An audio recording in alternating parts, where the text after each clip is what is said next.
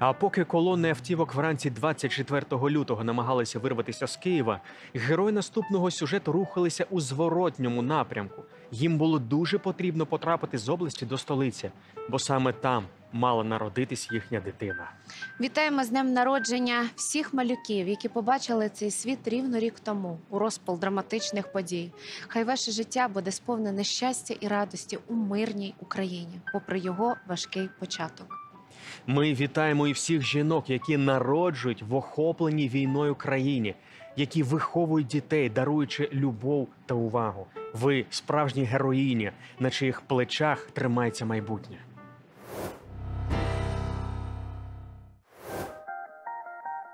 Вікторія міцно тримає та ніжно обіймає маленького сина. Сьогодні у Захара день народження. Йому виповнився рік. Біля нього найрідніші. Він робить перші кроки.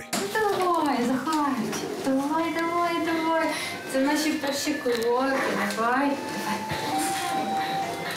Давай. Молодець. Молодець, мій хороший. Захар друга дитина Вікторії. Народився першого дня повномасштабної російсько-української війни. Хоча пологи мали розпочатися на добу раніше. Цей же ж день, 24 числа, у мене о 4 ранку почалися схватки. Ну і десь близько пів на п'ятої вибухи почалися. Ми тому, що ми поряд живемо з Гостомелем Зарпінем, і в нас відчу- тут були постійно вибухи. І я чоловіку говорю: слухай, в мене сватка. Він мені говорить, слухай, війна. Небо просто знаєте сяяло таким. Краще б, звичайно, воно сяяло від радості, да, але воно сяяло вибухи були. В нас навіть шибки трусилися. Тобто ми відчували на собі оці події. Я в це не вірила. Шок, страх і хвилювання такі емоції охоплювали жінку. Чоловік допомагав зібрати необхідні речі. До пологового будинку породілля діставалось кілька годин. Траса була заблокована автомобілями скрізь затори. Люди рятувались від російських атак, поспішали залишити столицю. А Вікторія поспішала до лікарів, адже ось ось мала народити. Пів на сьому ми збиралися виїжджати, і все повністю дорога була закрита. Нам звідси, тобто ми ж майже з академмістечка їхали, то нам десь їхати 20 хвилин. Але ми їхали 3 години. Е, Чоловік мій. е, Чесно кажучи, дуже болісно це говорить. Він зупиняв кожну машину, просто ставав навколішка, говорив, пожалуйста, пропустіть.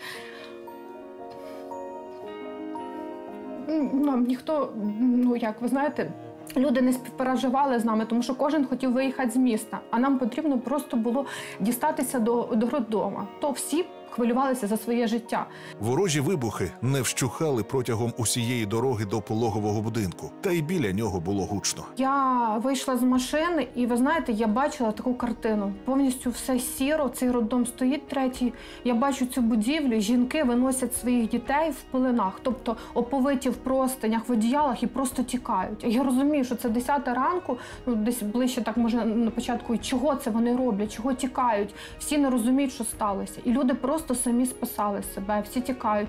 І я розумію, що мені йти туди, а вони звідти тікають. Всіх виносили, дітей, яку я яку, ну, жінки спускалися в підвал, а мені потрібно було народжувати. Біля дверей пологового на Вікторію чекала акушерка. Поруч була і група підтримки породіллі, донька та чоловік. Спочатку вони ходили біля роддому, але ж були постійно вибухи. І їх запросили, запросили туди в бункер спуститися, щоб вони перечекали. Але ви ж знаєте, в мене було хвилювання, що вони там, я тут так дуже швидко я родила. Я за дві години майже я його так не відчула, чесно.